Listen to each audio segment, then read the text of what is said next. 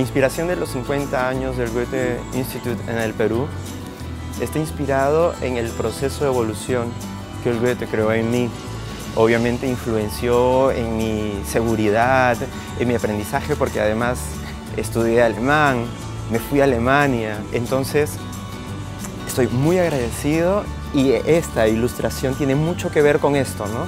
Tiene que ver en el proceso de crecimiento, de evolución, de lo que soy ahora. Me permitió además volar, ir más allá, trascender y convertirme en otra persona. Yo creo que el Goethe crea la misma situación, la misma sensación en todos los que pasan por acá. Yo estoy muy agradecido y esa es la razón por la que hice esa ilustración.